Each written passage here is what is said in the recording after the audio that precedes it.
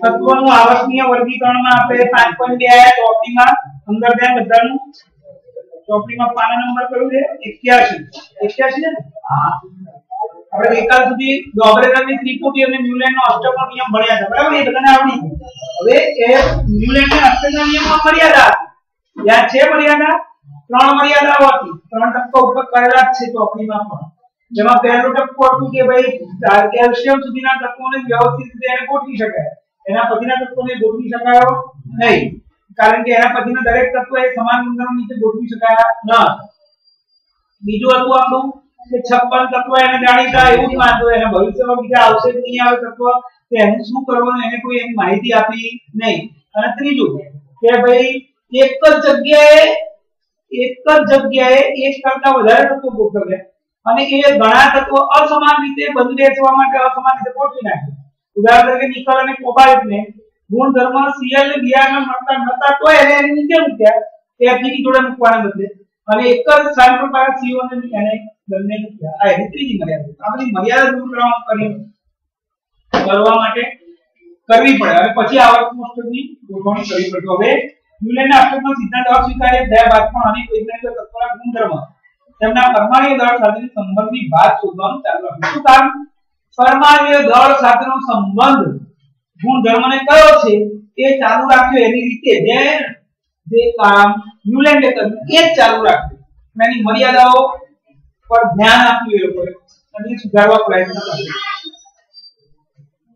હવે તત્વોના વર્ગીકરણનો મુખ્ય શ્રેય શરૂઆત કોણે કરી તો આપણે રાખ્યું. સારું કામ કોણે કર્યું ન્યુલેન્ડ. ને બધું અસ્વીકાર્ય પણ તત્વોના વર્ગીકરણનો મુખ્ય શ્રેય રશિયન વૈજ્ઞાનિક, રશિયન રસાયણશાસ્ત્રી દમિત્રી ઇવાનોવિચ મેન્ડેલિફના પાડે જાય સૌથી સારામાં સારું કામ કોણે કર્યું? મેન્ડેલિફ તત્વોના આવર્ત પ્રસંગના પ્રારંભિક વિકાસમાં તેમનું યોગદાન મુખ્ય રહ્યું કે જેમાં તત્વોને તેમના મૂળભૂત ગુણધર્મ, જો જો આપણે મૂળભૂત ગુણધર્મ અને તરંગના ચર્ચાક્રમમાં ત્રિપુટી ગુણધર્મ ન્યુલેન્ડે અષ્ટક ગોઠવ્યા આઠ તત્વોને ગોઠવ્યા પરસ્પર સંગીત સુરાવની છે એ થોડાક જ ગોઠવી શકાય આગળ ના મેન્ડેલિફે આ બધી મર્યાદાઓ ચેક કરી લીધી આવું છે તો આપણે એમાંથી સુધારો લઈ લઈએ મેન્ડેલિફે ત્રણ વસ્તુ પર કામ કર્યું એક તો પરમાણુ દળ બીજું ગુણધર્મ ગુણધર્મ બધા બે પ્રકારના લીધા સામાન્ય ગુણધર્મ એટલે કે ભૌતિક હોય પાણી નાખવા શું થાય દેખાવમાં કેવો છે ગંધ કેવી છે અને રાસાયણિક ગુણ એ નવું એડ રાસાયણિક ગુણનો મતલબ એને ગરમ કરો એસિડ થાય પ્રક્રિયા કરો બેઝ થાય પ્રક્રિયા કરો. એવી ઘણી બધી પ્રક્રિયાઓ એને શોધી. અને એ પ્રક્રિયાને બધા તત્વો માટે વાપરી અને એના જવાબો લખ્યા. અને આ રીતે એને પરમાણુ દળના ચડતા ક્રમ પ્રમાણે તત્વોને ગોઠવ્યા. સાથે સાથે તત્વોને તેના સામાન્ય ગુણધર્મ અને રાસાયણિક ગુણધર્મની સમાનતા પ્રમાણે પણ ગોઠવ્યા. એટલે કે આગળની મર્યાદાઓ હતી. એ થોડી ઓછી થઈ પછી વાંચીએ. જ્યારે મેન્ડેલિફે પોતાના કાર્યની શરૂઆત કરી, ત્યારે તેના સમયમાં 63 તત્વો જાણીતા. જો ન્યુલેન્ડના સમય કેટલા જાણીતા? 56 અને સમય 63 તત્વો જાણીતા. તેમણે તત્વોના પરમાણુય દળ, તેમજ તેમના ભૌતિક અને રાસાયણિક ગુણધર્મો વચ્ચેના સંબંધો તપાસ્યો રાસાયણિક ગુણધર્મોની વચ્ચે મેન્ડેલિફે તત્વના ઓક્સિજન હાઇડ્રોજન સાથે બનતા સંયોજન પર પણ ધ્યાન કેન્દ્રિત કર્યું. તેમણે ઓક્સિજન અને હાઇડ્રોજન પસંદ કેમ કર્યું કેમ કે અતિ સક્રિય છે તો મોટાભાગના તત્વો સાથે સંયોજન બનાવ્યું તત્વો દ્વારા બનતા હાઇડ્રાઇડ અને ઓક્સાઇડના સૂત્રોને તત્વોના વર્ગીકરણ માટેના મૂળભૂત ગુણધર્મો પૈકીનો એક ગુણધર્મ તરીકે ગણવામાં આવ્યો ત્યારબાદ તેમણે 63 કાર્ડ લીધા પ્રત્યેક કાર્ડ પર એક તત્વના ગુણધર્મો લખ્યા સમાન ગુણધર્મો ધરાવતા તત્વોને અલગ કર્યા તે કાર્ડ પર ટાંકી લગાવીને દિવાલ પર એક સાથે લગાવ્યા તેમણે અવલોકન કર્યું કે મોટાભાગના તત્વોને આવક કોષ્ટકમાં સ્થાન મળી ગયું અને પોતાના પરમાણુ દળના પડતા ક્રમમાંથી ગોઠવાઈ ગયા તે પણ અવલોકન કરવામાં આવ્યું કે સમાન ભૌતિક અને રાસાયણિક ગુણધર્મો ધરાવતા જુદા જુદા તત્વો એક નિશ્ચિત વિરામ પછી ફરીથી આવ્યું મેન્ડેલિફે આવર્ત નિયમ બનાવ્યો. તત્વના ગુણધર્મો અને પરમાણુ દળના આવર્ત નિયમ વિધેય છે. મેન્ડેલિફના આવર્ત વસ્તુમાં ઊભા સ્તંભ કે જેને સમૂહ અને આડી હરો કે જેને આવર્ત તરીકે ઓળખવામાં આવે છે બહુ સરસ કામ કર્યું મેન્ડેલિફે ખરેખર એને ચાર વસ્તુ કરી પહેલી વસ્તુ પરમાણુ દળ નક્કી કર્યું એટલે 56 ના સુધાર્યા હતા બાકી આ જ્યાં તત્વો સુધાર્યા એને સાત એ બધા પરમાણુ દળ લખી નાખ્યા પછી આ બધા સમાન સામાન્ય ગુણ સમાન સોરી સામાન્ય ગુણો બધાને લખ્યા સામાન્ય ગુણ કોમન ભૌતિક ગુણ પછી એને રાસાયણિક ગુણધર્મ પાણી પછી એસિડ બેઝ એ બધા સાથે કેવી પ્રક્રિયા કરે એ પછી એને બહુ અગત્યની વસ્તુ કે દરેક તત્વની ઓક્સિજન સાથે પ્રક્રિયા કરાવે દરેક તત્વની હાઇડ્રોજન સાથે પ્રક્રિયા કરાવે તો કોઈ પણ તત્વ હાઇડ્રોજન સાથે પ્રક્રિયા કરે તો એનો હાઇડ્રાઇડ બનાવે અને કોઈ પણ તત્વ ઓક્સિજન સાથે પ્રક્રિયા કરે તો એનો ઓક્સાઇડ બનાવે એટલે આના બધા તત્વોના ઓક્સાઇડ બનાવ્યા બધા તત્વોના હાઇડ્રાઇડ જેના બનતા થાય હવે ઓક્સાઇડ ને હાઇડ્રાઇડ બનાવ્યા એનું એને અણુસૂત્ર લખ્યું હવે અણુસૂત્રમાં ઓક્સાઇડ વાળાનું જેટલા અણુસૂત્ર સમાન આવતા હોય એ તો ઓની સંખ્યા છે દાખલા તરીકે હું એમ કહું MgO CaO PbO બધામાં OO છે બીજું ઓલું સમજણ પડે એવી રીતે કે Na2O Li2O K2O Na2O તો શું આવ્યું બધામાં O આવ્યું પણ પેલાની આગળ શું Li2O K2O Na2O આ આ અણુસૂત્ર કોમન જેવા દેખાય કે એવા અણુસૂત્ર જે કોમન હતા ઓક્સાઇડ વાળા એને એક જૂથમાં રાખ્યા કે બધાના ગુણધર્મ તપાસ્યા એ બધાએ સમાન ગુણધર્મ ધરાવતા હતા અને પછી આને એના પરમાણુ દળના ચડતા ક્રમમાં ગોઠવ્યા તો એને જોયું કે મોટા ભાગના બધા તત્વો આવર્ત કોષ્ટકમાં યોગ્ય રીતે ગોઠવાઈ ગયા હતા અને ચોક્કસ તત્વ પછીનું તત્વ જે યુલેન્ડિક હતું ને એ જ પ્રમાણે કે એ સમાન ગુણધર્મને આધારે એ તત્વની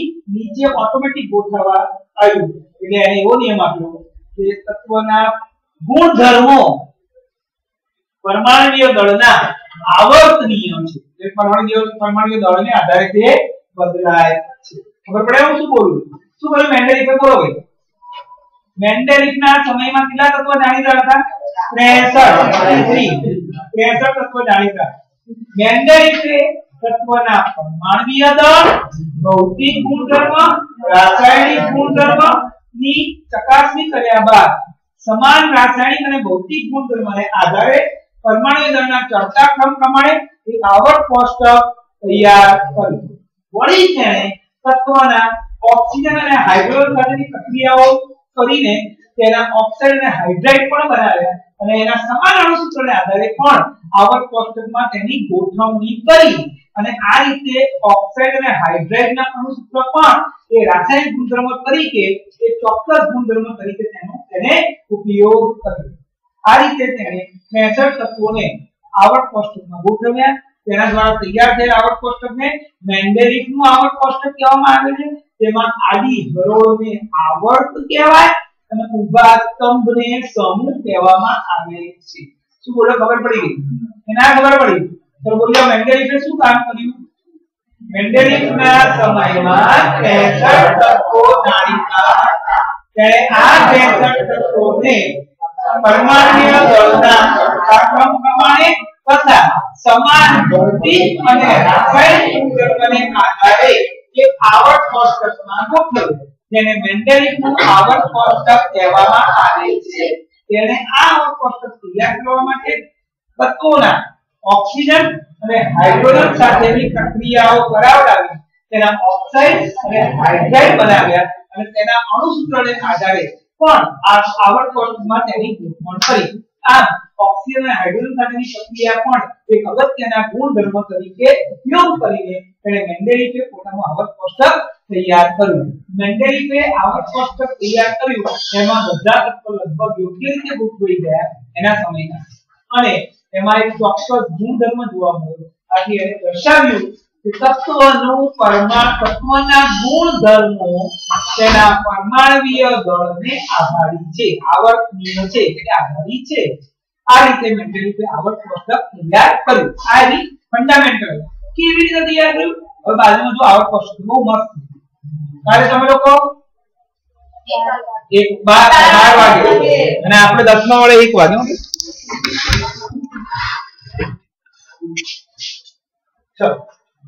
શું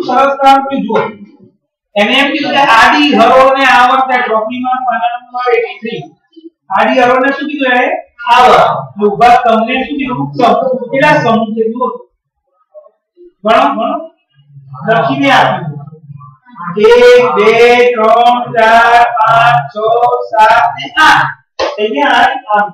ના ખબર પડી? સમજી લો જો અહીંયા. એક આ બે આ ત્રણ ચાર પાંચ છ સાત આઠ. આઠ સ્તંભની સમૂહ. આ આડી હરોળ કેટલી છે? છ. આ એક આ બે આ ત્રણ આ ચાર આ પાંચ ખબર પડી ગઈ? આ છ આવર્ત થયા અને આઠ સમૂહ. હવે જો તો બહુ જોરદાર એનું કામ હતું. એને શું કર્યું? હજી એના લખાણમાં લખવાનું. એને 63 કાર્ડ લીધા. કેટલા તત્વો હતા 63 એ તમારે રિપોર્ટ કાર્ડ બનાવવાનું પ્રગતિ પત્ર એટલે કાર્ડ લીધા 63 દરેક કાર્ડ ઉપર દરેક તત્વનું પહેલા નામ લખી પછી દરેક તત્વના પરમાણુય દળ લખી નાખ્યા. પછી દરેક તત્વના ભૌતિક ગુણધર્મ લખી નાખ્યા. દરેક તત્વના રાસાયણિક ગુણધર્મ લખી નાખ્યા. અને દરેક તત્વના ઓક્સાઇડ અને હાઇડ્રાઇડના અણુ સૂત્ર લખ્યા.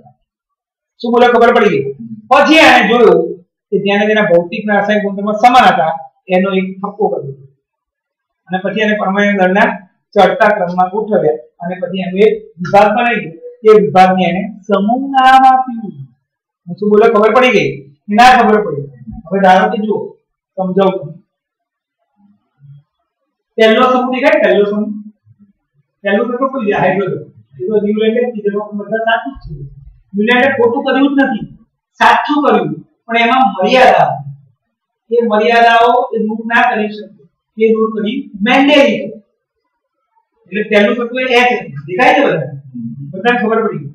બરાબર તો એની નીચે કોણ છે Li લિથિયમ એની નીચે કોણ છે Na સોડિયમ એની નીચે કોણ છે પોટેશિયમ બસ આટલું હતું. બીજા બધાને આપણે જોવા નથી જોજો હવે અને બીજા બધા નામ મને નથી ખબર આપણે 20 સુધી યાદ રાખવાના હોય ન હોય હવે એની ઉપર જુઓ તો, ઉપર એક કોમન સૂત્ર લખ્યું. શું સૂત્ર લખ્યું? ઓક્સાઇડનું R2O અને હાઇડ્રાઇડનું R. R એટલે શું ખબર? R એટલે જે તત્વ હોય એ પોતે. જે તત્વ હોય એ પોતે. શું બોલો? ખબર પડી? તો R2O છે, તો H માં શું આવશે? H2O એની આની જગ્યાએ H અને નીચે RH છે, તો શું આવે? HH એટલે H2 એવી રીતે લિથિયમ નું શું અણુસૂત્ર હશે ઓક્સાઇડ નું Li2O અને હાઇડ્રાઇડ નું LiH એવી રીતે Na નું શું થશે Na2O અને H નું NaH તો K નું શું થશે K2O અને K ખબર પડી આ કેટલું જોરદાર કામ કર્યું એને ખબર પડી તમને મેથડ કાર્ડ લીધા દરેક કાર્ડ ઉપર આવી રીતે ઓક્સાઇડ અને હાઇડ્રોજન નામ શું પછી જ્યાં 2O 2O 2O હોય એ બધા કાર્ડ ભેગા થાય એવા કેટલા કાર્ડ ભેગા થાય એની જોડે આપણે 20 સુધીમાં ગણીએ તો એક H વાળું કાર્ડ ભેગું થયું? એક Li વાળું કાર્ડ ભેગું થયું? પછી એને વાળું કાર્ડ ભેગું છે અને એક સીએ વાળું કાર્ડ એનો થપ્પો બનાવી પછી આને શું કર્યું? એને એના દળની પ્રમાણે જોયું. હા, પછી એ ચારે ચારના ગુણધર્મો આ તો સમજાય ભૌતિક અને રાસાયણિક પછી એને શું કર્યું? એને પરમાણુય દળ બધામાં જોયું. જેનું સૌથી વધુ બે ઉપર કર્યું. એ કાર્ડ. એ કાર્ડ ક્યાં લટકાયું અહીંયા લટકાયું એટલે એની નીચે બીજું કાઢ્યું એની નીચે ત્રીજું એની નીચે ચોથું H Li Ni ખબર પડી ગઈ આ રીતે એને એક સમૂહ તૈયાર કરી નાખ્યો. અને આનું આ પ્રથમ સમૂહ હતું એનું ઓક્સાઇડ નું સૂત્ર R2O અને હાઇડ્રાઇડ નું સૂત્ર કયું આવ્યું RH એટલે તમારે લખવું હોય તો આપણે લખી દો આનું આનું સૂત્ર છે H2O અને H2 આનું Li2O અને LiH આનું Na2O અને Na આનું K2O અને કે સમાન જ આવે, આ જે હોય એ જ ખબર પડી ગઈ તો બીજા સમૂહમાં કેવું છે? જુઓ તો. RO અને RH2 આ બીજા સમૂહ. કે દ્વિતીય શ્રેણી. એની નીચે. આપણે એ બધું સમજવાનું નથી. આપણે 20 સુધી સમજવાનું. ખ્યાલ ગયો? એટલે બીજો સમૂહ RO અને RH2 બીજા સમૂહના સૂત્ર કયા RO અને RH2 બીજા સમૂહમાં એને કોણ લીધું અહીંયા BE તો B નો શું સૂત્ર થશે BeO શું BeO અને BeH B પછી કોણ આવશે Mg શું થાય MgO MgH પછી આવે Ca તો CaO CaH ખબર પડી ગઈ ના ખબર પડી 100% પછી ત્રીજા સમૂહમાં કોણ આવ્યું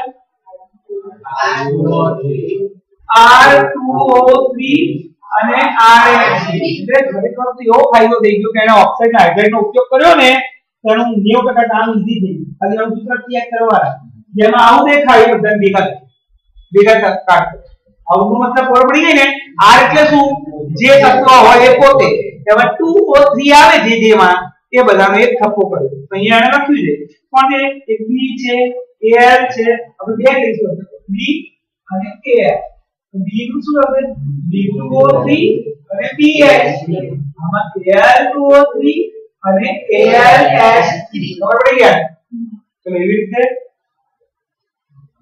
ચોથા સમૂહમાં RO2 અને RH2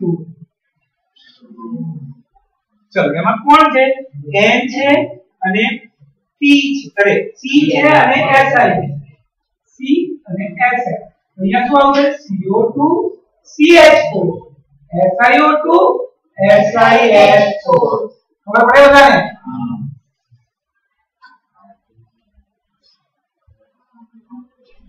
પાંચમા સમૂહમાં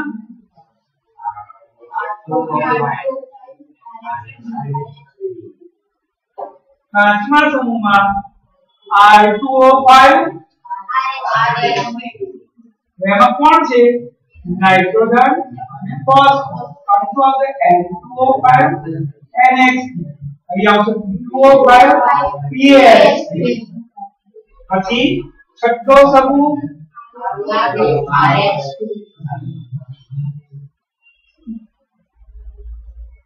RO3 RH2 એમાં કોણ છે O અને S આમાં O અહીંયા મૂકી દઈએ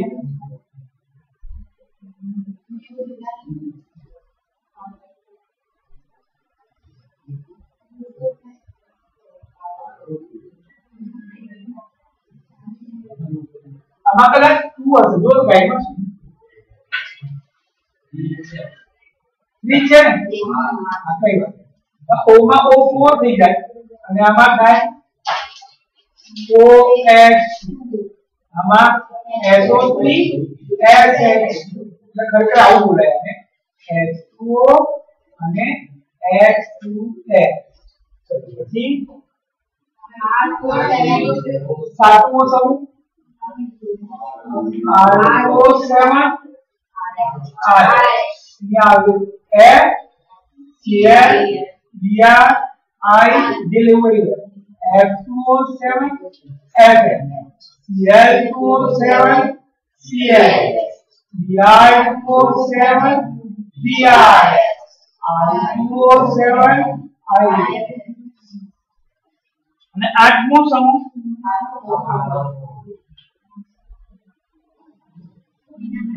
એમાં હાઇડ્રેટ આવે કારણ કે આપણા નિષ્ક્રિય સમૂહ હોય અને એને સંક્રાંતિ શ્રેણી નામ આપ્યું આ સંક્રાંતિ સુધી અત્યાર નહીં આવે ચલો ખબર પડી ગઈ આટલી કે ના ખબર પડી આ તમારે જો આ તો કોષ્ટક યાદ નથી રાખવાનું પણ આ તો યાદ રાખવાનું ખબર પડે હું શું કહું? હવે તમને એનો ફાયદો બતાવું અહીંયા સ્ટાર્ટ કર્યું હાઇડ્રોજન પછી આ હિલિયમ આવશે બેરિલિયમ બોરોન આ પહેલો સમૂહ બીજો બીજો પહેલો બીજો ત્રીજો ચોથો પાંચમો છઠ્ઠો સાતમો અને આઠ બરાબર તમારે કેટલું કઈ રીતે યાદ રાખવું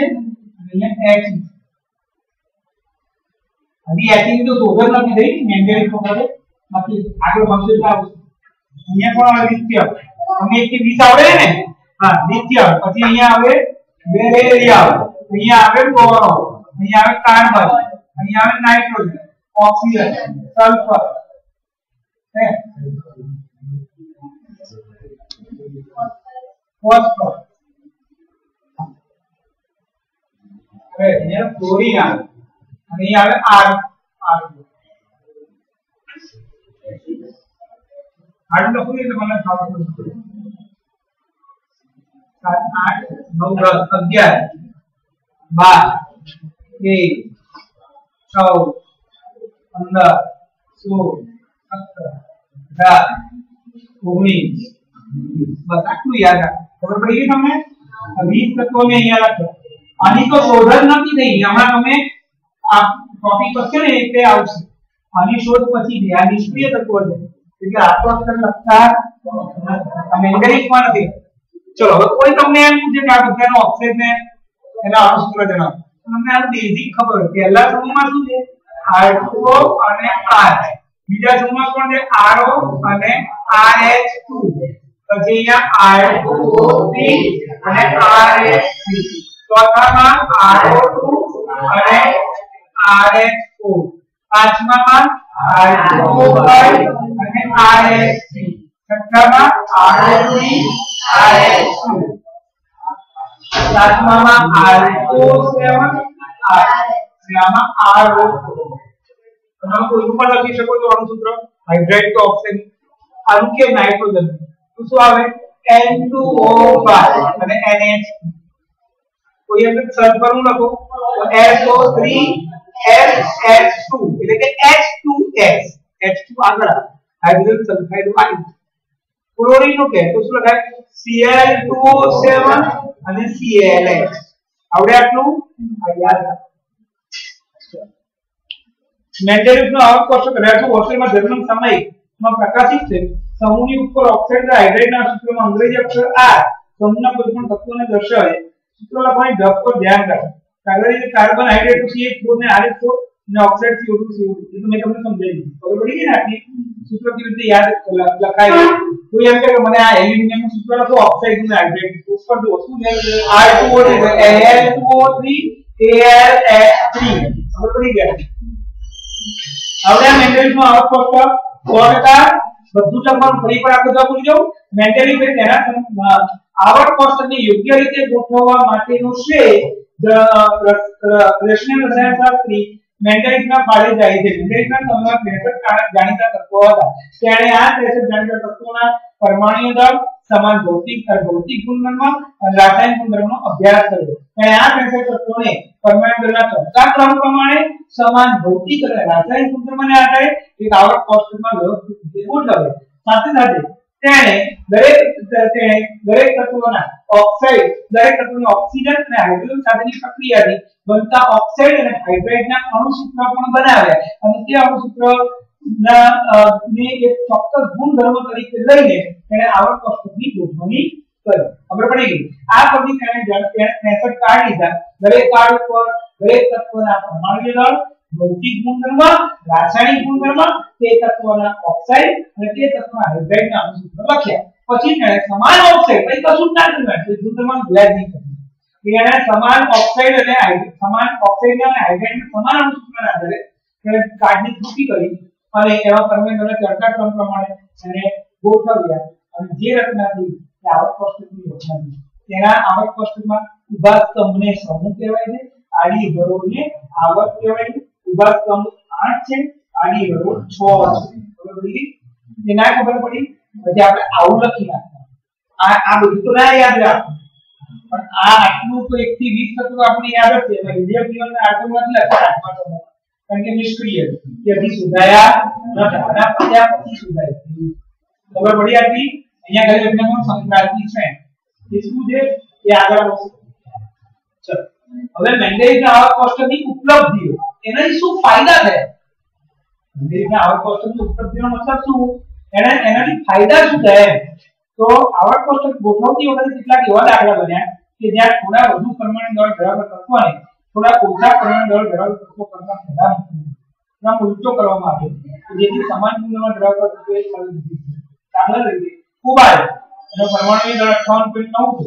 અને નિકલ 58.7 છે તો કોબાલ્ટ નિકલ કરતા પહેલા દેખાડો જો સમજ પડી આમાં થોડીક વિસંગતતા તો હતી પણ ચલાવી દીધું ખરેખર આપણે પરમાણુ દળનો કયો ક્રમ લીધો ચડતો એટલે પહેલા નાનું આવે પછી મોટું આવે પણ કોબાલ્ટ અને નિકલ એ તો આમાં પ્રોબ્લેમ એ કોઈ ડિમેન્ડમાં બંનેની જગ્યાએ રીતે બંને દર લગભગ કેવું છે સરખું એટલે આ 3.9 એટલે આ 3.7 છે પહેલું કોણ આવવું જોઈએ નિકલ આવવું જોઈએ પછી કોબાલ્ટ આવવું પણ ગુણધર્મને આધારે એમાં કોબાલ્ટ ને ઉપર મૂક્યો અને નિકલ ને નીચે મૂક્યો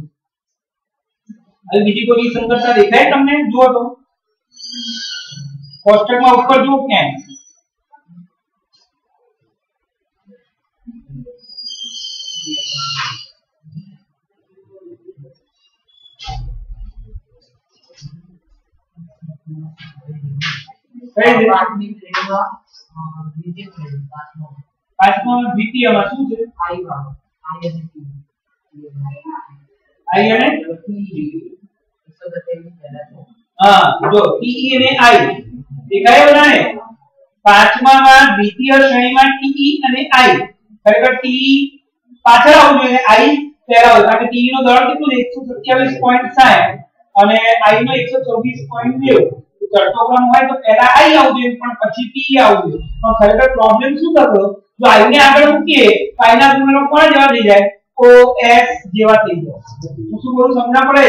પણ આઈ ના ગુણનો કોને મળતા આવતા હતા એફ સીએલ ને બીઆર એટલે એને ફરજિયાતપણે ક્યાં મૂકવું પડે એફ સીએલ ને બીઆર ની નીચે એટલે થોડું આમાં ચલાવી દીધું પરમાણુ દળ શું ના ખબર પડી આ ટી ને આઈ આવ્યું દેખાય છે ડિનર આ ટી નો દળ છે 127.60 તમે ક્યાં જોવો છો ના ખબર પડી અને આઈ નો દળ છે 124.90 ખરેખર આઈ અહીંયા આવે ટી અહીંયા આવે દળ ચડતા પ્રમાણે પણ ચડતાનો મતલબ આમ. જો સાંભળ્યું આમ પણ ચડતું અને આમ પણ ચડતું. બોલો ખબર પડી ગઈ? આવર્તમાં પરમાણુ દળનો કેવો ક્રમ છે? ચડતો. અને સમૂહમાં પણ પરમાણુ દળનો ચડતો ક્રમ. પણ ટી ને આઈ માં ઊંધું થઈ જાય.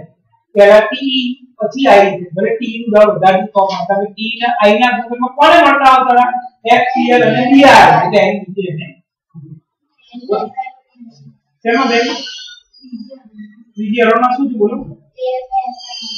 એલ ને SI માં પણ જુઓ એલ નો પરમાણુ દળ કેટલો છે 29.98 અને SI નો પરમાણુ દળ 28.09 ખરેખર SI આગળ આવવું જોઈએ એલ પાછળ આવવું જોઈએ પણ ખરેખર થયું શું કોના ગુણધર્મમાં SI ના ગુણધર્મ કોને મળતા આવતા હતા C ને અને એલ ના ગુણધર્મ કોને મળતા આવતા D ને એટલે એને એની નીચે ગુણધર્મ ચેક જ નતા કર્યા ખરેખર શું ચેક કર્યું હતું અણુસૂત્રો એ લોકોએ મેન્ડેલિવે કશું જ ના કર્યું અણુસૂત્ર બનાવી જાણે કે SI નું આઉટપુટ આવું બન્યું અને એરનું આવું બન્યું ખબર પડી ગઈ હવે તમે એમ કહો કે SI ને અહીંયા મૂકો SI નું આઉટપુટ શું છે તો SI2O3 આમાં બનવું જોઈએ એની જગ્યાએ શું બન્યું એટલે જેનું અણુસૂત્ર O2 વાળું હોય આ RO2 એને અહીંયા મૂકવું પડે RH2 આ બંને હોવું જોઈએ હો. એકલું O2 નહીં એમ તો એમ તો ઘણા બધામાં ઓટુ ક્યાંય પણ આવતું હશે. ના, નથી આવતું. R2O બન્યું RO2 RH2 નથી આવતું. આમાં RH1 2 3 4 3 2 H આ બંનેની શક્યતા સાચી થવી જોઈએ. હું શું બોલો? ખબર પડી એવા તત્વો અહીંયા મૂક્યા કે જેનો ઓક્સાઇડમાં O2 હોય અને હાઇડ્રેટમાં H2 એટલે જ સિલિકોન ને અહીંયા મૂક્યું અને એલ્યુમિનિયમ ને અહીંયા હું શું બોલ્યો ખબર પડી ગઈ? પછી એને ગુણધર્મ જોયા. તો આપણે નિયમ કેતો શું થાય?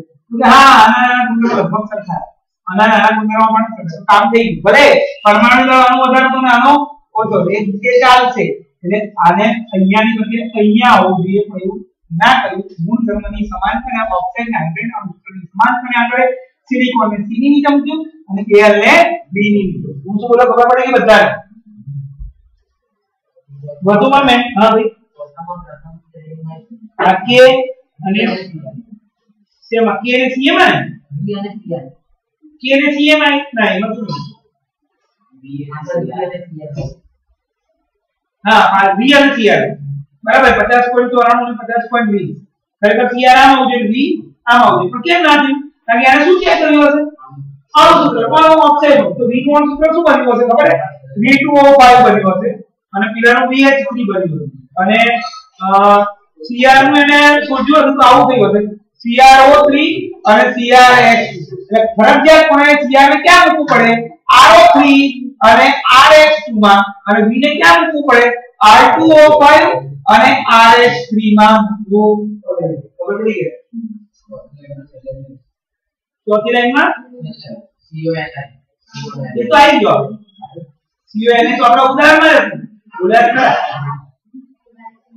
કોબાલ્ટ નિકલ એ આપણે બોલે ને આ ઉપર પહેલો પેરેગ્રાફ વાંચ્યો નહીં, તમે ધ્યાન નહીં. એમાં એવું લખ્યું છે કે ઉદાહરણ તરીકે કોષ્ટકમાં કોબાલ્ટ 58.9 અને નિકલ 58.7 કરતા પહેલા દેખાયું અને એ પછી એવું તમે કોઈ બીજું શોધી શકો તો આપણે ઘણા શોધી ખબર પડી ગઈ આટલી? ચલો, બીજો પેરેગ્રાફ વધુમાં મેન્ડેલિફે પોતાના આવક કોષ્ટકમાં કેટલાક ખાલી ખાલી સ્થાન છોડવા માટે. આ ખાલી સ્થાનને મર્યાદાના રૂપમાં જોવાને બદલે મેન્ડેલિફે નિર્ભરતાપૂર્વક કોઈ એવા તત્વોના અસ્તિત્વની આગાહી કરી જે તે સમયે શોધાયા ન હતા એટલે મેન્ડેલિફે ઘણા કોષ્ટકમાં ઘણા સ્થાન ખાલી પણ રાખ્યા જો આ સ્થાન ખાલી દેખાય એટલે આની નીચેનું દ્વિતીય શ્રેણીનું સ્થાન ખાલી દેખાય છે અહીંયા પાંચમામાં પ્રથમ શ્રેણીમાં પણ ક્યાં કરે અ, છઠ્ઠામાં આખી શ્રેણી ખાલી થઈ સાતમા સમજ દેખાય આખું કોષ્ટક ખાલી હવે જ્યાં કોષ્ટક ખાલી રહ્યું એ ગભરાયો નહીં એને પોતાનું સામે એવું કીધું કે આ તમે ભવિષ્યની આગાહી કરી નાખી અહીંયા કયું તત્વ મૂકીશું બોલો. તમે કહી શકશો. આ સાતમા સમૂહ સ્થાન ખાલી છે અહીંયા નીચે તેમાં કયું તત્વ મૂકશો બોલો. કેવું તત્વ? એ તો આપણે નથી ખબર. કઈ કેવું? બોલો. એક તો ચડતા ક્રમમાં હોય, એટલે જેનો પરમાણુય દર W કરતા વધારે હોય અને I કરતા વધારે W નો કેટલો છે? 183.85 અને I નો કેટલો છે? 124.9 એટલે આપણે 185 ત્યાંથી કરતા વધારે હોય, તેવો અહીંયા પરમાણુ આપણે મૂકીશું. બરાબર? વળી એનો ઓક્સાઇડ નો સૂત્ર કેવું હોવું જોઈએ? તો ઉપર જુઓ. R2O7 એટલે એનું ઓક્સાઇડનું સૂત્ર 2O7 હોવું જોઈએ. અને હાઇડ્રેટનું સૂત્ર H હોવું જોઈએ. એટલે તમને ખબર પડી ગઈ. X નામનું એક તત્વ શોધો. કે જેનું દળ કેટલું એટલે આપણને શોધવા ખબર પડી કે આ તત્વ શોધવું મળશે બજારમાં ક્યાંક કુદરતમાં. શોધો. મિત્ર બનાવો. કેવું તત્વ બનાવીશું આપણે? એ તત્વ નામ આપ્યું આપણે ધારો કે X. તો તેનો પરમાણુ દળ કેટલો? 183.85 કરતા વધારે. greater, બરાબર? અને બીજું કોના કરતા ઓછો હોવું જોઈએ? 190.2 કરતા ઓછો હોવું જોઈએ. 190.2 છે ને પાછું? એના કરતા ઓછું હોવું જોઈએ. બીજું એનું ઓક્સાઇડનું સૂત્ર આવું થવું જોઈએ. અને હાઇડ્રેટનું સૂત્ર આવું એટલે મેન્ડેલિફની એને તો રિઝલ્ટ કહી દઉં કે મેં સ્થાન જે ખાલી છોડ્યા છે ને એ મારી ખામી નથી. એ તો તમને ભવિષ્યમાં સુધારનારા તત્વની પહેલેથી માહિતી આપી દઈએ. કે આવું તત્વ મળવાનું છે ભવિષ્યમાં, કે જેનો પરમાણુ દળ આના કરતા વધારે, આના કરતા ઓછો, અને જેનું ઓક્સિજન સૂત્ર આ છે ને હાઇડ્રોજન સૂત્ર અહીંયા પણ તમે કરી શકો છો. છઠ્ઠામાં, દ્વિતીય શ્રેણીમાં છઠ્ઠો સમૂહ. દેખાય આ ખાલી જે ડબલ્યુ ની નીચે. તો એમાં કેવું તત્વ મેળવીશું? આપણે બોલો. જેનો પરમાણુય દળ 208.98 કરતા વધારે. અને 185 કરતા પણ વધારે. 208 કરતા વધારે થઈ બીજું, કે જેના અણુસૂત્ર કેવા આવશે? ધારો કે y નામનું સૂત્ર શોધ્યું. તો YO3 અને YH આવું એક તત્વ શોધી નાખો કે જેનું ઓક્સાઇડનું સૂત્ર આવું હોય હાઇડ્રેટનું સૂત્ર આવું હોય, અને જેનું દળ 208.98 કરતા વધારે. મેન્ડેલિફે તેમનું તેમનું નામકરણ એ જ સમૂહના તેનાથી પહેલા આવતા તત્વના નામમાં સંસ્કૃત શબ્દ એકાપૂર્વક એટલે કે એક પૂર્વક લગાવી કર્યું. દાખલા તરીકે, પછી સુધાર કેન્ડિયમ, ગેલિયમ જર્મેનિયમના ગુણધર્મો ક્રમશઃ એકાબોરોન એકા એલ્યુમિનિયમ અને એકા સિલિકોન જેવા હતા. મેન્ડેલિફ દ્વારા આગાહી કરેલા એકા એલ્યુમિનિયમ કે તથા પછી સુધારેલા એકા એલ્યુમિનિયમ સ્થાન મેળવેલ ગેલિયમના ગુણધર્મો નીચે દર્શાવેલ છે. જરા ગેલિયમ શોધો તો ક્યાં મને મળી ગયું ગેલિયમ દેખાય ચોથીમાં દ્વિતીય શ્રેણીમાં ત્રીજો સમૂહ. Ga મળી ગયું Ga એ મેન્ડેલિફે શું શોધ્યું.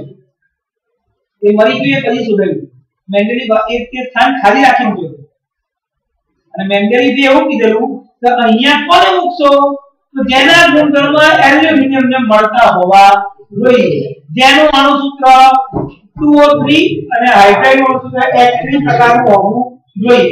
જેનો પરમાણુ દળ 29.98 કરતા વધારે હોવો જોઈએ. ખબર પડી કે ના ખબર પડી? તો એવું તત્વને એને શોધ્યા પહેલા નામ આપી દીધું એને શું નામ આપ્યું ખબર છે? એકા એલ્યુમિનિયમ શું નામ આપ્યું? એકા એલ્યુમિનિયમ. અને પછી એ તત્વ કે એ તત્વ ગેલિયમ હતું. જેને મેન્ડેલે શું કહ્યું જોતો કે એકા એલ્યુમિનિયમ મૂકજો. એકા એલ્યુમિનિયમ નો મતલબ શું થયો? કે જેના ગુણધર્મ એલ્યુમિનિયમ મળતા આવે છે, જેને એલ્યુમિનિયમની નીચે મૂકવાનું છે, જેનો પરમાણુ દળ એલ્યુમિનિયમ કરતા વધારે છે, જેનો ઓક્સાઇડનું સૂત્ર 2O3 છે અને હાઇડ્રાઇડનું સૂત્ર H3 છે. એટલે પાંચ વર્ષ પ્રયત્ન થયો મેન્ડેલિફ ના મરી ગયા પછી, ત્યારે આ ગેલિયમ મળ્યું. જે ખરેખર હતું શું? એકા એલ્યુમિનિયમ, જો પાછળ ગુણનો વધારે. એનું પરમાણુ કેટલું આપ્યું છે? એકા એલ્યુમિનિયમનું 68 એટલે એને અંદાજિત કીધું એને આગાહી કરી. કે અહીંયા એવું તત્વ શોધજો કે જેનું પરમાણુ દળ 68 ની આસપાસ હોય. જેનું ઓક્સાઇડનું સૂત્ર 2O3 હોય અને હાઇડ્રેટનું સૂત્ર H3 હોય. તો પાંચ વર્ષના સતત પ્રયત્ન પછી ગેલિયમ મળ્યું તો એનું પરમાણુ દળ 69.7 હતું. જેનું ઓક્સાઇડનું સૂત્ર Ga2O3 હતું. અને ક્લોરાઇડનું સૂત્ર GaCl3 હતું. ક્લોરાઇડ હાઇડ્રેટ હજી તો શોધ થઈ ગઈ હાઇડ્રેટ ની ક્લોરાઇડ નો વાપરવાનું ખબર પડી ગઈ હતી એટલે એકા એલ્યુમિનિયમ ની જે આગાહી થઈ હતી એ એના માટે કોણ ખરું ઉતર્યું ગેલિયમ ખ્યાલ આવે છે બધાને એવી રીતે એને પછી એકા બોરોન એકા એલ્યુમિનિયમ અને એકા સિલિકોન જો એકા બોરોન નું બીજું નામ શું છે સ્કેન્ડિયમ એટલે આ સ્કેન્ડિયમ ને શું છે લેટ્સ સી દેખાય એલ્યુમિનિયમ નીચે એલ્યુમિનિયમ નીચે દેખ્યું તમે HC કે ક્રોસમાં જ આ બાજુ એટલે એના ગુણધર્મ ખરેખર કોને મળતા આવે છે બી ને એને એને નામ આપ્યું બી ને એલ્યુમિનિયમ લગભગ સરખા જ હોય એને એને નામ આપ્યું એકા બોરોન એટલે ગેલિયમ નામ આપ્યું એકા એલ્યુમિનિયમ અને પછી જે ત્રીજું શોધાયું હતું એકા સિલિકોન જર્મેનિયમ દેખાય જર્મેનિયમ ક્યાં જો તો SI ની નીચે જીઈ દેખાયું જીઈ એને એને નામ આપ્યું હતું એકા સિલિકોન એટલે આ ત્રણ તત્વો એવા હતા કયા Fe Ga અને Ge આ ત્રણ મેન્ડેલિકે શોધ્યા નતા પણ એ આગાહી કરી દીધો હતો એણે Ga ને એકા એલ્યુમિનિયમ તરીકે કીધેલું Fe ને એકા બોરોન તરીકે કીધેલું અને જર્મેનિયમ ને એકા સિલિકોન તરીકે અ, આગાહી કરી હતી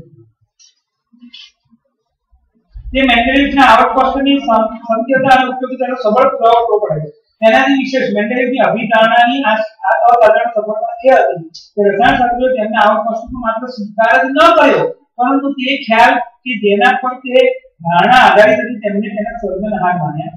એના મરી ગયા પછી આવક કોષ્ટકનો ખાલી સ્વીકાર ના કર્યો આ મેન્ડેલિફનું બરાબર ચાલશે છે પણ એને જે જે ઉપયોગ કર્યો વસ્તુનો એને બધા વૈજ્ઞાનિકોએ એને બેઝ માની લીધું. આને અનુસરીને આપણે આગળ કામ કરીશું. આ સાચો જ છે. એવી રીતે અન્ય રસાયણ શાસ્ત્રીઓએ પણ તેમને સર્જના તરીકે માન્યા. એ પછી નિષ્ક્રિય વાયુઓ, મેં તમને કીધું ને મેન્ડેલિયમ શોધ્યા હતા હિલિયમ, નિયોન અને આર્ગોન એવા નિષ્ક્રિય વાયુની શોધ થઈ જેને મેન્ડેલિયમના આવક કોષ્ટકમાં છેડછાડ કર્યા વગર આઠમા સમૂહમાં મૂકી શકાયા છે. નિષ્ક્રિય વાયુ જે હિલિયમ નિયોન અને આર્ગોન નો અગાઉ પણ ઉપયોગ થતો આ વાયુ શોધ ઘણી મોડી થઈ હતી. કારણ કે નિષ્ક્રિય અથવા આત્મહત્યાનું પ્રમાણ ઘણું ઓછું હતું. મેન્ડેલિયસના આ કોષ્ટકની વિશેષતા એ હતી કે જ્યારે આ વાયુની શોધ થઈ, ત્યારે અગાઉની શ્રેણી, એટલે કે અગાઉના કોષ્ટકને ખોલી પહોંચાડ્યા વગર તેમને નવા સમૂહમાં રાખવામાં શું બોલ્યો? ખબર પડી ગઈ? ત્યારે આવે ભાઈ? આ શું હતી મેન્ડેલિયસના આવક કોષ્ટકના વિશેષતા, એની ઉપલબ્ધિઓ મેન્ડેલિયસના આવક કોષ્ટકની ઉપયોગિતા મેન્ડેલિયસના આવક કોષ્ટકની અભિધારણાઓ હવે હું એકની એક જ શબ્દ અભિધારણા ઉપયોગિતા વિશેષતા અને ઉપલબ્ધિઓ ખબર પડી ગઈ આટલી કે ના ખબર પડી તો ગાઈડમાં એ જબ વાંચીએ એ રીતે લખ્યું ચાર મુદ્દા છે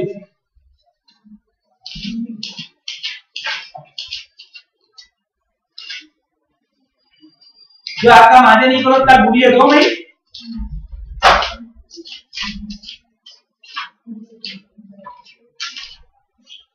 ભાઈ ચલો મેન્ડેલિયસના આવક કોષ્ટકની ઉપલબ્ધિ વિસંગતતાઓ વિસંગતતાઓ કીધું હોય તો પણ એવું એ પછી ફાયદા અને પછી મર્યાદા ચલો આપણે એ ત્રણે ત્રણ જવાબ એક સાથે બધું જોઈ લઈએ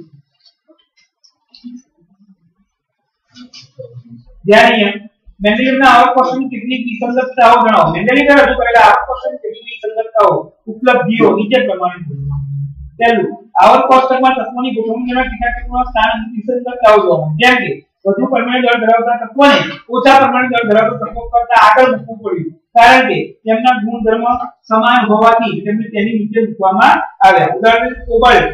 એનું પરમાણુ દળ 58.9 છે. યુ એટલે યુનિટ. 58.9 એકમ. અને નિકલનો પરમાણુ દળ 58.7 યુનિટ છે. તો તેને કોબાલ્ટ કરતા પહેલા મૂકવું પડે. એવી રીતે ટેલુરિયમ અને આયોડિન માટે પણ આમ જ બન્યું મેં ટેલુરિયમ એટલે ટી અને આયોડિન ડાઈ આપણે જોયું ને આપણે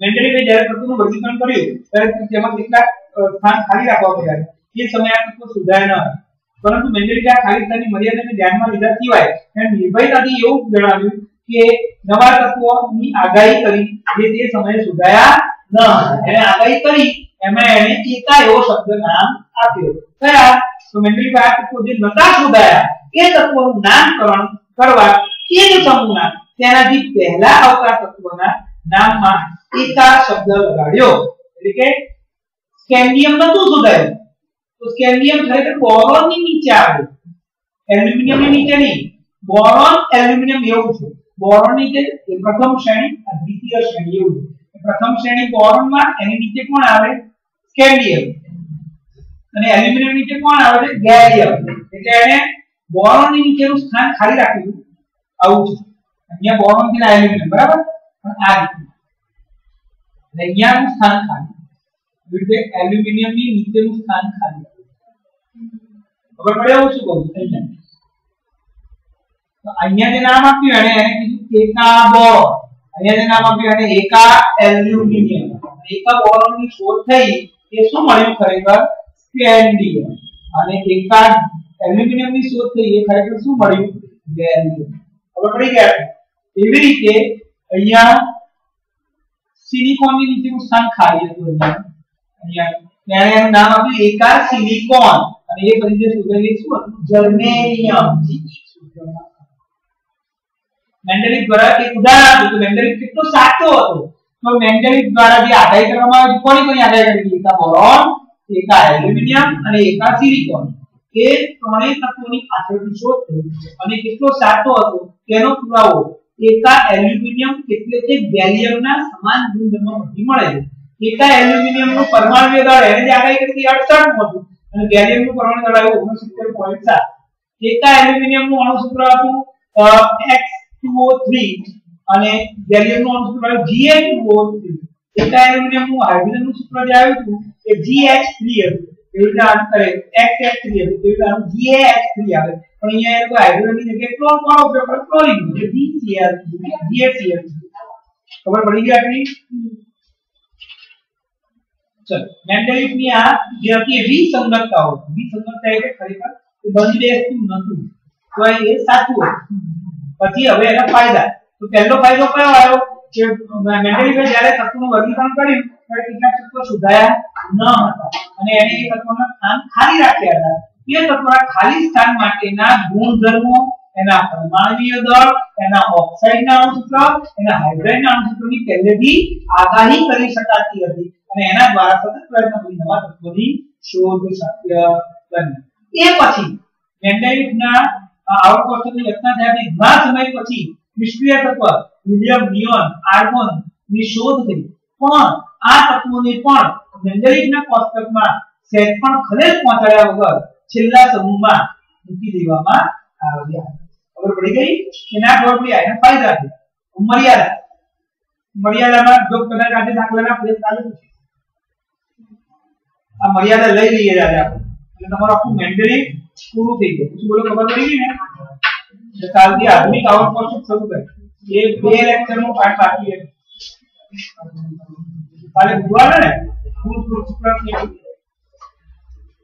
ચલો મેન્ડેલિફના આવક કોષ્ટકની મર્યાદા પહેલું પહેલી મર્યાદા આ કોણ h ની નીચે કોણ છે ધ્યાન અહીંયા કરે આપણે કોષ્ટકમાં h ની નીચે li li નીચે na na નીચે k આ બધાના ઓક્સાઇડ ના અણુ સૂત્ર ખોટું અને પીલાના 2h r2h બરાબર એ સાચું હતું બધા એટલે તો મૂક્યા એને પણ ખરેખર હાઇડ્રોજનના ગુણધર્મ લિથિયમ પોટેશિયમ એ સોડિયમને મળતા આવતા નથી હવે હાઇડ્રોજન તો વાયુ છે લિથિયમ સોડિયમ પોટેશિયમ તો ધાતુ એટલે જો અહીંયા પહેલી મર્યાદા આ છે.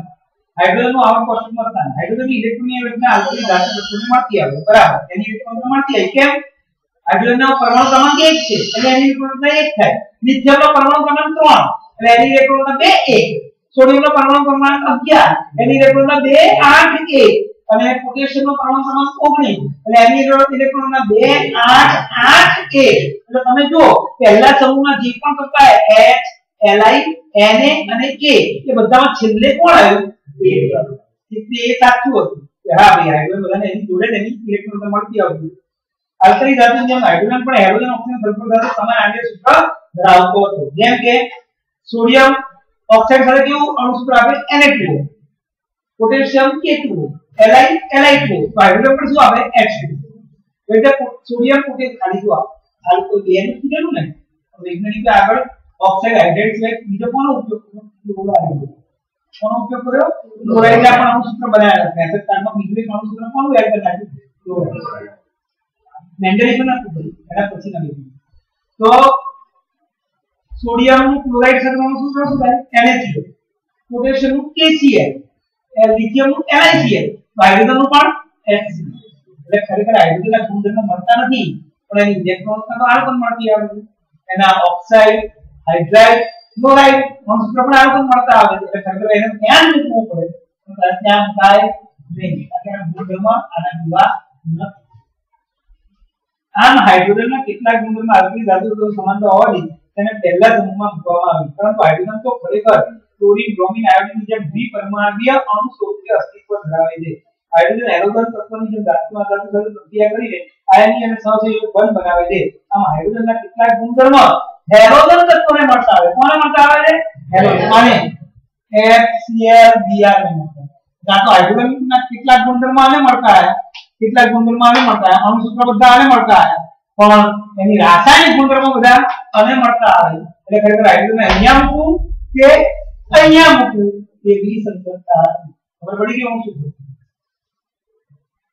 આમ આવડ પ્રશ્નમાં હાઇડ્રોજન સ્થાન ચર્ચાસ્પદ વિવાદાસ્પદ અત્યારે પણ છે.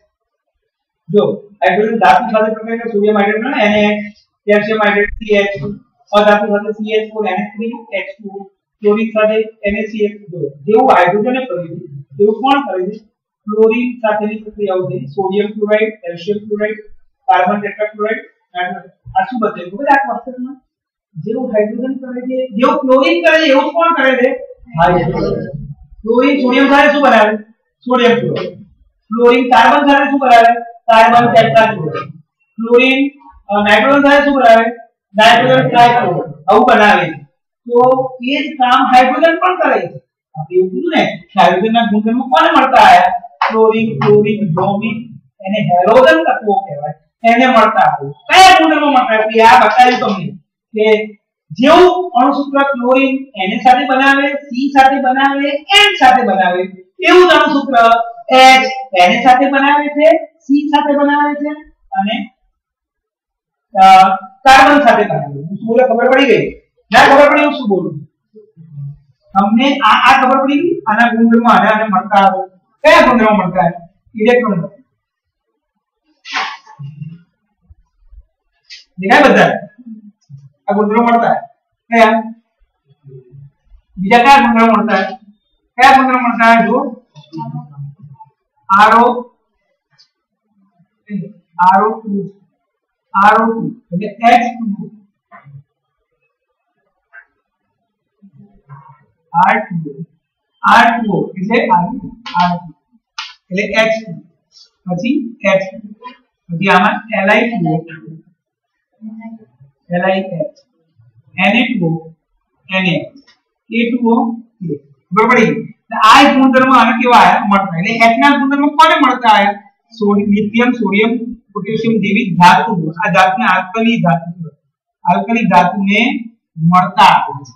અને બીજા ગુણધર્મ કોને મળતા આવે તો કે ફ્લોરીન ક્લોરીન બ્રોમિન વગેરેને મળતા આવે કેવી રીતે તો ક્લોરીન છે એ N સાથે પ્રક્રિયા કરીને NaCl ક્લોરીન છે તે કાર્બન સાથે કાર્બન સાથે પ્રક્રિયા કરીને CCl4 બને ક્લોરીન છે એ નાઇટ્રોજન સાથે પ્રક્રિયા કરીને NCl3 બને આ કોના ગુણધર્મ થયા ક્લોરીન આ ધાતુ સાથે આ અધાતુ સાથે એવી રીતે હાઇડ્રોજન પણ એની સાથે પ્રક્રિયા કરી શું બનાવે છે Na કાર્બન સાથે પ્રક્રિયા કરી શું બનાવે છે CH4 નાઇટ્રોજન સાથે પ્રક્રિયા કરી શું બનાવે છે Na હાઇડ્રોજન નો ગુણધર્મ કોને મળતો આવ્યો ક્લોરીન ને પણ મળતો આવ્યો દેખાય તમને કે ના ખબર પડી હતી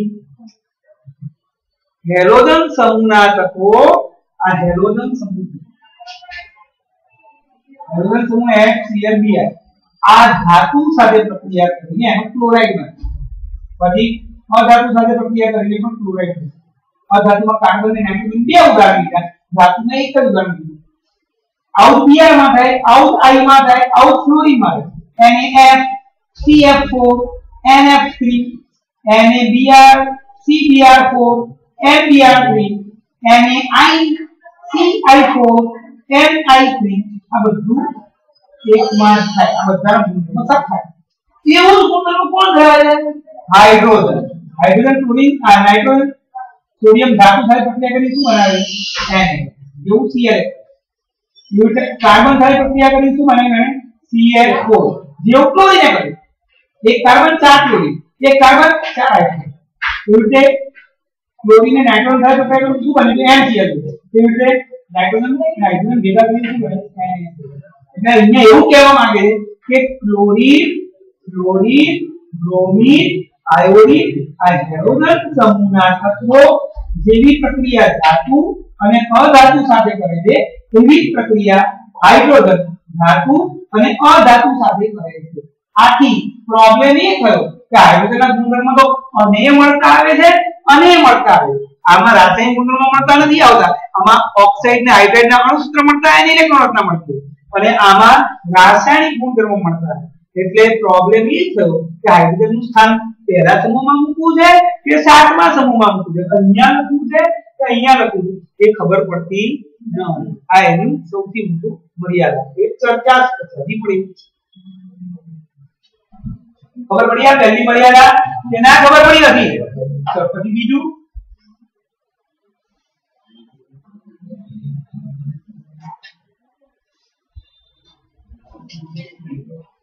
સમસ્થાનિકોનું સ્થાન જો સાંભળ્યો ભાઈ પાંચ દસ મિનિટ થશે હવે સમસ્થાનિકોનું સ્થાન સમસ્થાનિક કોને કહેવાય જે તત્વના પરમાણુ ક્રમાંક સરખા હોય પણ દળાંક અલગ અલગ હોય એને એના સમસ્થાનિક સમસ્થાનિક સમજાવું છું હાઇડ્રોજનના બે સમસ્થાનિક આમ ત્રણ હાઇડ્રોજન પોતે પછી ડ્યુટેરિયમ અને પછી ટ્રિટિયમ યુરેનિયમના પણ ત્રણ છે યુરેનિયમ 232 235 238 આવી રીતે લખાય 1h1 1h2 1h3 બાણું U 232 બાણું U 235 બાણું U 208 તો તમને એમ કે આ શું આ પરમાણુ ક્રમાંક છે. આ શું છે? Z. અને આ શું છે? પરમાણુ દળાંક K છે. આ Z અને આ દરેક તત્વ Z થી ઓળખાય કાલથી બની છે. આ દળને આધારે ગોઠવ્યું પણ ત્યાં સુધી ઇલેક્ટ્રોનની શોધ જ નથી થઈ. આ પછી ઇલેક્ટ્રોનની શોધ થઈ એટલે કોની ચર્ચા થઈ આ ક્રમાંક યુનિક આઈડી આધાર કાર્ડ કે 11 ઇલેક્ટ્રોન તો ખાલી સોડિયમમાં જ હોય છે. 12 ઇલેક્ટ્રોન તો ખાલી મેગ્નેશિયમમાં છે. એટલે આ 92 ઇલેક્ટ્રોન કે 92 પ્રોટોન માત્ર કોના હોય યુરેનિયમ. દુનિયામાં જ્યાં ખાડો ખોદીને 92 ઇલેક્ટ્રોન વાળો તત્વ મળ્યું, તેનું નામ શું પડ્યું? યુરેનિયમ. પણ પછી એવું થયું કે ઘણી જગ્યાએ એનું દળ 232 છે, ઘણી જગ્યાએ એનું દળ 235 છે, ઘણી જગ્યાએ એનું દળ 238 છે. કહેવાય તો યુરેનિયમ જ. એના બધા ગુણધર્મમાં કોણ હતું? યુરેનિયમ. પણ દળ કેવું થઈ ગયું? બસ હવે મને બે યુરેનિયમ આ ત્રણ યુરેનિયમ મળે. સમજો? તો એક યુરેનિયમ આરો ક્વેશ્ચનમાં ક્યાં બસો બત્રીસ વાળું લગાવી એ બસો પાંત્રીસ દોડને આગળ તૈયાર કરી. બસો પાંત્રીસ દરવાનું ક્યાં બસો આડત્રીસ દરવાનું ક્યાં અને યુરેનિયમ તો યુરેનિયમ જ છે. એ સ્થાન પર મારે ત્રણે ત્રણ યુરેનિયમ બેડ દેવા પડે. હાઇડ્રોજન, આ હાઇડ્રોજન. જેનો પરમાણુ ક્રમાંક એક એક જ ઇલેક્ટ્રોન. કોઈ હાઇડ્રોજન, સાદો હાઇડ્રોજન, એનું દળ એક છે. ભારે હાઇડ્રોજન છે ડ્યુટેરિયમ બે છે. અને ભારે હાઇડ્રોજન છે, એનાથી પણ એનું દળ ત્રણ છે ટ્રિટિયમ છે. ચલો, મને ટ્રિટિયમ મળ્યો. તો ક્યાં લખું હા, તો અહીંયા લખવું પડે. આ શું છે? આ ત્રણ હાઇડ્રોજન જ છે, પણ એના દળ બદલાયેલા તો દળ અહીંયા મારે ત્રણે ત્રણની જગ્યા રાખવી પડે, જે મેન્ડેલિફે રાખી. એની બીજી મર્યાદા જુઓ. મેન્ડેલિફ તત્વોનું વર્ગીકરણ કર્યું તે પછી લાંબા સમય પછી એ વખત મેન્ડેલિફે નહીં કોઈને ખબર જ નહીં કે સંસાર જેવું કંઈ હોય પણ એના આઉટ કોષ્ટકના તૈયાર કર્યા પછી ઘણા લાંબા સમય પછી સમસ્થાનિકો શોધાયા એક જ તત્વના પરમાણુ કે જેમના પરમાણુ ક્રમાંક સમાન પરંતુ દળો સમાન હોય તેને એકબીજાને સમસ્થાનિક હોય સમસ્થાનિકના રાસાયણિક ગુણધર્મો સમાન હોય પણ દળ જુદો જુદો હોય આમ બધા તત્વોના જુદા જુદા સમસ્થાનિકો મેન્ડેલિફે સૂચવેલા આવર્ત નિયમનું ઉલ્લંઘન કરે છે આ સમસ્થાનિકોને ક્યાં મૂકવા તે મર્યાદા કરીને કોષ્ટકમાં સાબિત થાય મેં તમને કીધું મારે હાઇડ્રોજન મને ડ્યુટેરિયમ મળ્યો ડ્યુટેરિયમ શું છે? ડ્યુટેરિયમ હાઇડ્રોજન છે. મારે મૂકવાનું ક્યાં? અહીંયા. મને સાદો હાઇડ્રોજન મળ્યો આ 1h1 છે. આ 1h2 મળે તો મારે કેમ તો અહીંયા મૂકો જગ્યા ક્યાં? 1h3 મળે તો ક્યાં જગ્યા એ મેન્ટેન કરી શક્યો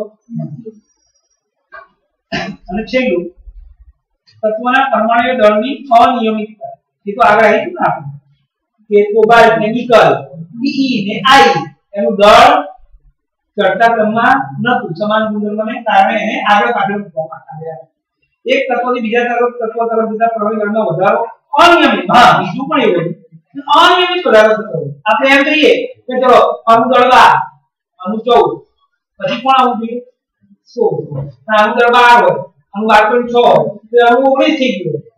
ચડતો ક્રમ થયો પણ જો વધારો થતો તો એ અનિયમિત. એટલે નવા તત્વના દળની ચોક્કસ આગાહી ના કરી શકાય. આપણે અહીંયા એવું લખ્યું જો શું લખ્યું મેં? જેનું દળ એકસો ત્યાસી પોઈન્ટ પંચ્યાસી થી વધુ ફક્ત અને એકસો નેવું પોઈન્ટ બેથી ઓછો. ફક્ત એટલું તો અહીંયા એકસો ત્યાસી પોઈન્ટ છ્યાસી એ મળી શકે એકસો એ મળી શકે એકસો નેવું પોઈન્ટ એક સુધી ગમે તે હોઈ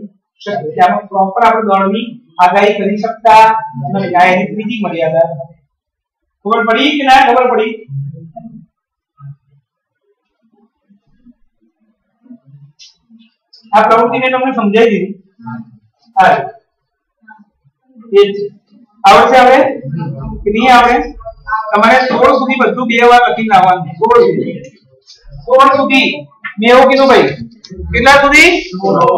ભૂલ્યા વગર. અને કાલે દાખલા પૂછવાનું. કાલે એક વાગે.